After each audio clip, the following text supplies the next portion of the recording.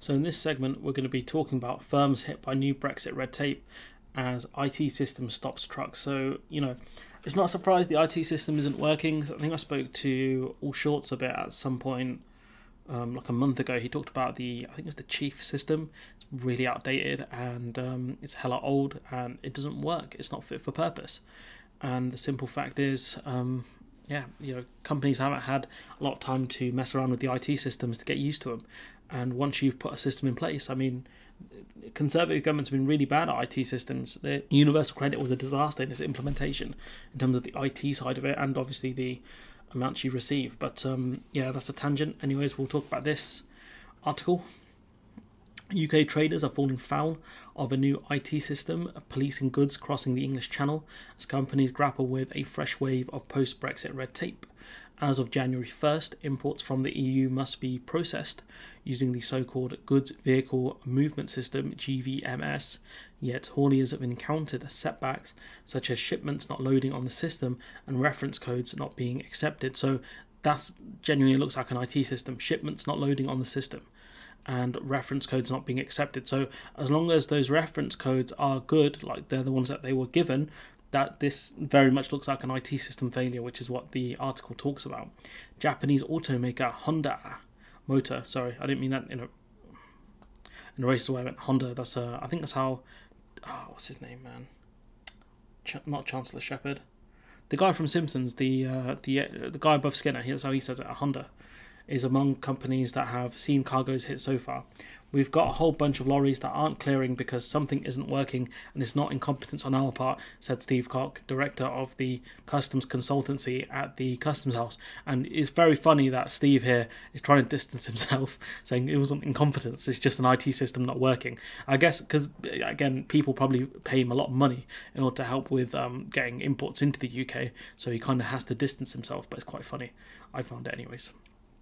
So, uh, Customs House, who had ha- who has had freight waiting to enter Britain since New Year's Day, it's going to cheese off a lot of people and have a lot of additional charges for vehicles that aren't getting to the UK because lorry drivers they don't make money unless they're moving and have stuff in the back.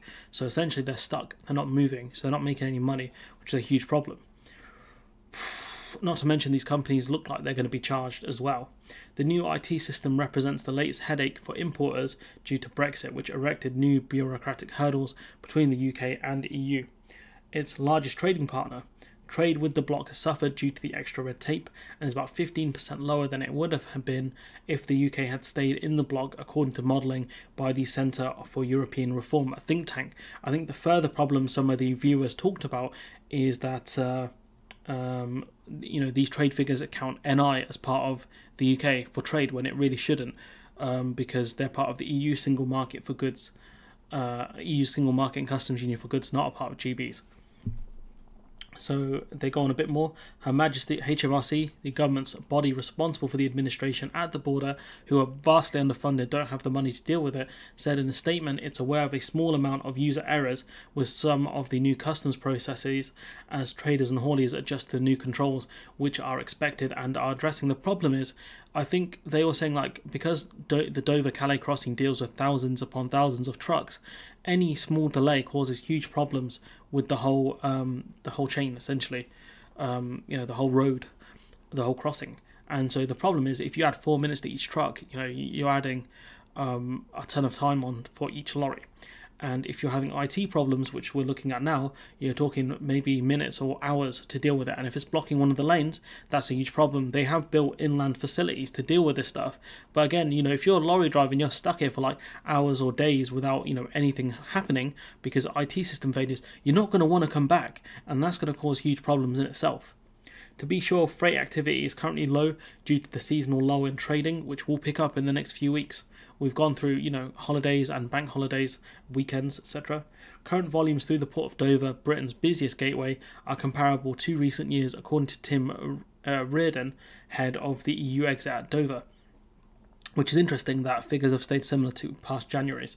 Industry figures expect activity to ramp up in the coming weeks, which will be a truer test of the post Brexit arrangements. Japanese automaker Honda, which was one of the companies affected by the uh, Brexit by the new processes set uh, with a ship. Sorry, Japanese automaker Honda was one of the companies affected by the new processes, with the shipment of power products and parts held up at the UK border to some goods being incorrectly coded. The shipment has since been released, and you've got to think right. They car manufacturers rely heavily on the just-in-time supply chain, so they'll get the parts just as they need them. What happens now if say you can't get access to say engines right? Say the engines are manufactured in the eu that means your whole supply chain or sorry your manufacturing process for your car is stuck. What do you do at that point? What do you do with the staff? Do you, do you send them home? Because there's nothing for them to do. They can't actually install the engine. Um, what, what do you do at that point if you're honda? Do you move them to a different part of the production facility so you produce, say, um, more bits leading up to the engine needing to be installed, which is going to have inefficiencies because you're going to have specific people who deal just with the engines. What do you do at that point if you're Honda? Or do you go back to the government and say, yo, we need more money because your import system isn't working? Some teething problems are not unexpected as the UK's custom system comes online. Honda said in a statement, We're currently looking into the details behind this. Um, again, it's going to keep happening it's not going to be as bad as this time round. But once the trade volumes pick up, kind of more towards April and the summer, it's going to be a disaster. Another business struggling to move goods into Britain is um, Angelos Windfall Logistics, who have a shipment of Arizona iced tea. Now, you would think that Arizona iced tea would come from Arizona, which is in America, but no, it's probably manufactured in the EU, hence why we can't get them in. Which retails in Tesco PLC supermarkets is stuck in the EU. Uh, uh, this person here, what was their first name? Angelus.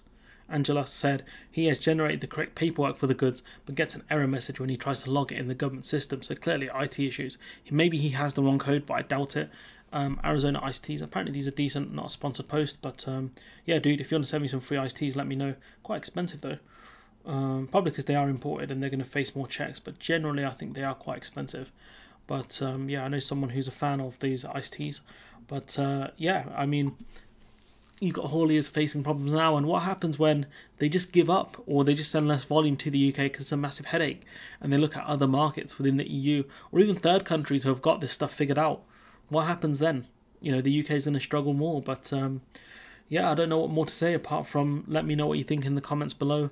Like, comment, share, subscribe, and hopefully I'll see you in the next one.